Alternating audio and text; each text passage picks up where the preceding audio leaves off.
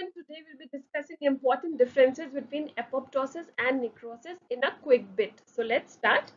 First, what you need to remember, if you just remember one thing here, that apoptosis is a programmed cell death. Something which is programmed or planned has two things, less destruction and but it requires energy. So energy requirement means it is an active process. So A for active, A for apoptosis. It is an active process lesser destruction in programmed cell death means the plasma membrane is intact and the cellular contents are also intact.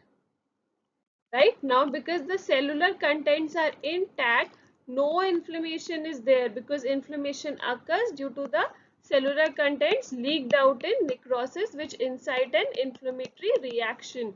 So no cellular content destruction here. So no inflammation is there then what else can you remember? Because no inflammation is there. If you remember, we used to study that swelling is one of the part of the spectrum of inflammation.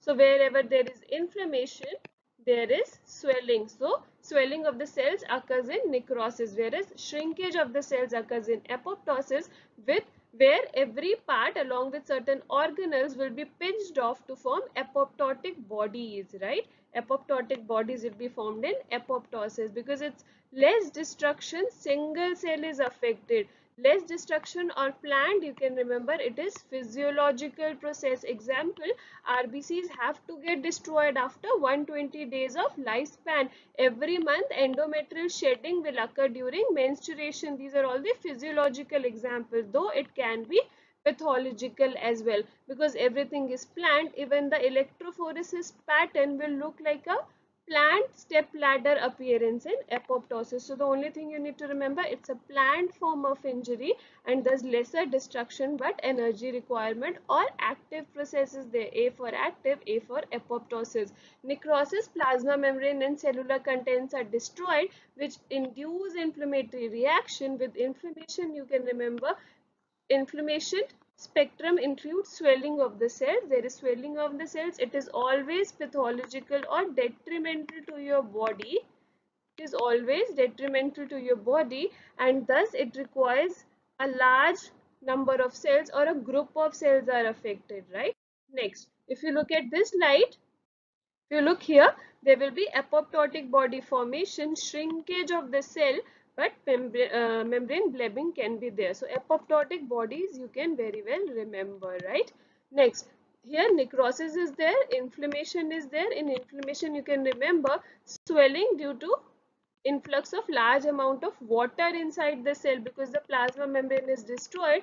It allows the movement of large amount of fluids inside which induce swelling. So there is increase in cell volume, loss of plasma membrane integrity and leakage of the cellular contents in necrosis. Now here if you can appreciate these are apoptotic bodies with their own organelles which are still functional whereas in necrosis everything is destroyed even when the organelles are not functional. Then next see this is very important this is electrophoresis pattern agarose gel electrophoresis pattern you need to remember in apoptosis it is a planned type of necrosis. So even the electrophoresis pattern is planned at every 180 base pairs distance there is internucleosomal breakage. Internucleosomal breakage with the help of endonuclease enzyme. All the mcqs discussed here. Internucleosome breakage with the help of endonuclease enzyme at a distance of 180 base pairs gives this step ladder appearance on in apoptosis okay uh, whereas in necrosis if you see this is a diffuse pattern a smear pattern on agarose gel in electrophoresis in case of necrosis. Next if you can you appreciate these apoptotic shrunken hepatocyte these apoptotic bodies? Can you appreciate? This is an example. This is physiological right? Next in case of necrosis can you appreciate a larger group of cells are involved right? Nuclear dissolution is there. Nucleus is dissolved. You cannot appreciate nucleus. A larger group of cells are involved though. This is example of coagulative necrosis so still the architecture can be appreciated. Programmed cell death if you remember you have to remember it is apoptosis. Apoptosis is a type of cell injury. It is a type of cell injury type of cell death right? Which is programmed and planned next all of the following are features of apoptosis except inflammation why? Why except inflammation? Because no plasma membrane damage, no cellular contents leakage and thus no inflammatory reaction induced. These apoptotic bodies are very well planned to be phagocytosed by macrophages before any inflammatory reaction is incited.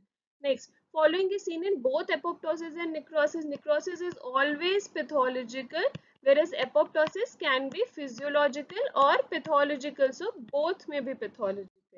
Internucleosomal cleavage of DNA is a characteristic of well-planned type of apoptosis where at every 180 base pairs there is internucleosomal breakage and thus gives a step ladder pattern appearance on agarose gel electrophoresis. Irreversible injury you need to remember flocculent densities in the mitochondria due to calcium influx. Flocculent densities indicates irreversible injury. Irreversible injury is due to deposition of calcium in the mitochondria or you can say flocculent densities in the mitochondria.